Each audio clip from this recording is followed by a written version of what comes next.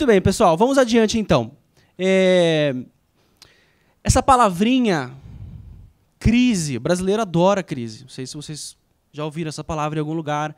Não sei se vocês já ouviram essa palavra no jornal.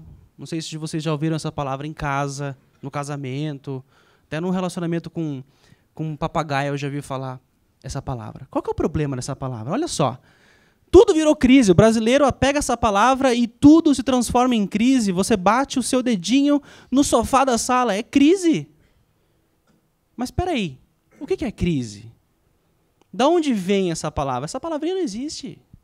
Essa palavrinha crise é, é uma coisa que o brasileiro encontrou para justificar tudo que está acontecendo de bagunça no nosso, no nosso país a importância de ambientes de aprendizagem como esse, o desafio da gente criar ambientes de aprendizagem como esse. Por quê?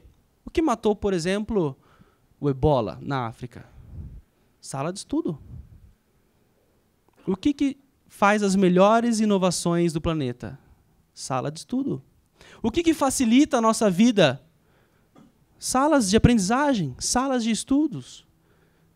Portanto, o nosso desafio daqui é sair daqui engajado não só em participar mais, mas de criar mais salas como essa. Navegar nesse mar no nosso país só tá para craque. Tocar o um negócio no nosso país só tá para craque.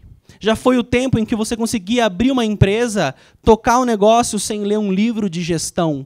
Já foi o tempo em que você abria uma loja, abria um botequim qualquer e tocava o seu negócio sem ao menos entender o que é gestão. Por isso que veio a crise, oriunda da falta de conhecimento de gente que está no poder, não sabe de nada do que está acontecendo. E aí vem o mar fica turbulento e milhões e milhões de empresas vão para o buraco. Desemprego e um monte de coisa que a gente já sabe decor. O nosso problema hoje é que a nossa crise ela é oriunda de um mundo que nasce e está se vingando de um mundo que é velho. É uma nova economia que nasce e está se vingando de uma economia que é velha. Muita gente conhece um termo que agora está na moda chamado startup. Né? Startup ali, startup aqui, muita gente não sabe nem o que é, mas esse já é um termo que já existe nos Estados Unidos de, de, em larga escala há mais de 15 anos. Steve Jobs já falava que a Apple era uma startup já. Nós estamos numa economia meio maluca, onde tudo é informação. Tudo que é material está perdendo seu valor. Até o ouro está perdendo seu valor. Até o petróleo está perdendo seu valor. Não adianta ter petróleo também. Se não tiver conhecimento, quebra. Um mundo que antes perdoava a empresa que não conseguia mudar, a empresa que demorava para se adaptar, demorava para implantar as coisas como aconteciam, hoje não está perdoando mais. Você vê empresas centenárias brigando pau a pau com empresas de garagem. Empresas que os jovens fundadores não tinham um puto no bolso. Era como a maioria aqui. Não é a nossa realidade, só que o que eles tinham? Conhecimento, informação. Há 10, 15 anos atrás, eram petrolíferas e indústrias automotivas as empresas mais valiosas do mundo, com 200 mil funcionários. Hoje a Uber tem um patrimônio minúsculo, vale mais do que a Shell na Bolsa de Valores. Alguém sabe quantos veículos que a Uber tem? Alguém tem dúvida que tem um mundo meio louco surgindo aí? E que tem muita empresa que nem sabe desse mundo ainda. E ainda está culpando os funcionários, vocês, eu, dos problemas. O problema é gestão. As empresas sacaram que não adianta ter bons produtos. O melhor produto de uma empresa na era do conhecimento se chama, se chama gestão. Para com esse negócio de contratar mão de obra. Já foi o tempo que isso dava dinheiro, já foi o tempo que isso era lucrativo. Nós estamos numa era chamada a era do conhecimento.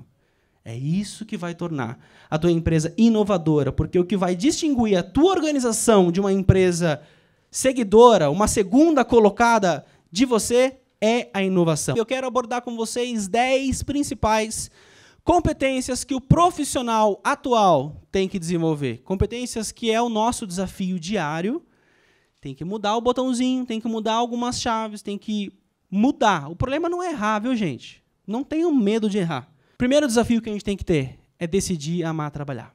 Segunda, entender a questão salarial. Tá vendo como a gente está vindo para princípios básicos da base do perfil profissional? Terceira competência, ser um masterchef. Todo mundo assiste Masterchef, sabe o que é? Dar informação. Adiante. Quarta, servir, servir e servir. Tá ruim a sua vida? Sirva. Tá ótima, sirva mais. Quinta, você precisa desenvolver um espírito empreendedor. Palavrinha de hoje também muito utilizada. Aplicar a ética. Todo mundo já sabe o que é ética, né? O que tem de filósofo surgindo falando de ética não está escrito no gibi. Sétima, caminhando para o final, saber lidar com pressão. Oitava, você precisa ser político. Não é fazer parte de partidos, nem partidarismo dentro da empresa.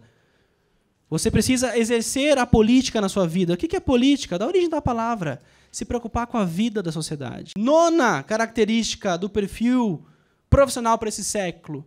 Você precisa se conectar com causas. As empresas hoje são constituídas por causas. Lucratividade vem, parece que em segundo plano.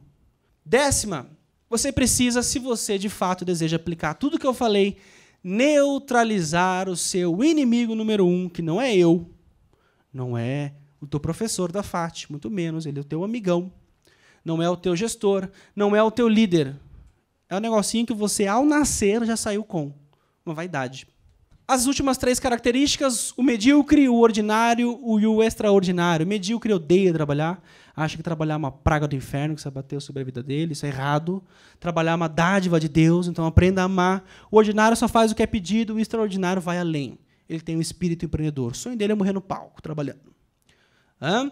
E aí, eu deixo minha última frase para vocês, que o conhecimento ele é libertador, ele é poderoso e fonte de mudanças inesgotáveis. Já foi o tempo em que tamanho dava lucratividade. Não dá mais.